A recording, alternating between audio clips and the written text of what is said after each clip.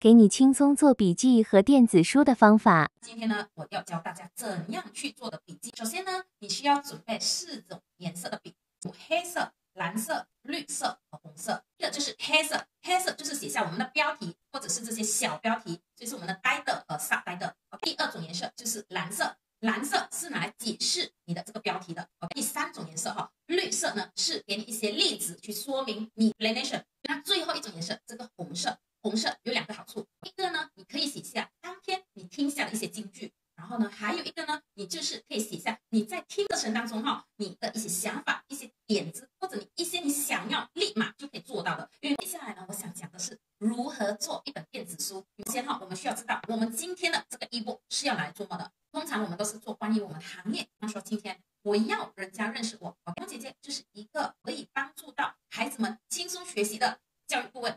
不可能，我每天都在讲这个东西，对吗？那我可以去想，在我这一个教育方面，我还有什么东西是有一些关系的？你看，父母、孩子、老师，你可以去想，通常你接触到的这些人会问你什么问题，或者是他们面对了什么痛，就去做一本电子书送给他们，帮他们解决问题，好不好？当我们有一个概念，我们想做什么电子书的时候，哈，你可以去找一些内容。今天哈，我们不需要专业，OK？如果我们不懂，没关系。世界上有很多东西叫做帮手，OK？谷歌一下就会出一些答案的。所以呢，大家哈可以去找这个微信搜狗。今天，比方说你想要呃写一个 topic，如何在短时间瘦下十公斤，如何让自己的脸变得更年轻，这些 topic 啊，你只需要去改一下，OK？哦，它出很多很多的资料给你。可以去找几篇关于到这个东西的内容，AD 这边去 combine 它，然后用自己的一些句子去更改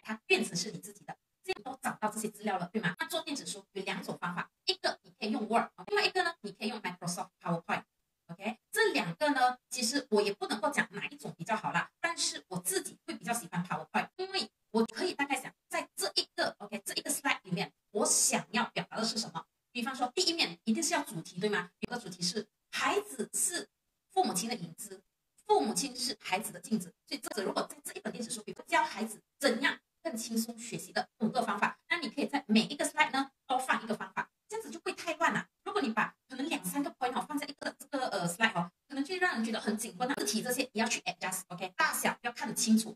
接下来呢哈，如果全部都是字，你会累吗？会想读吗？不去找一些背景图，那可以去用 Pinterest 的话呢，你可以给自己一个呃自己一个标签。大家呢一定要把这些发或者是这个 PowerPoint convert 去 PDF。你学会了吗？请多多关注彩虹姐姐。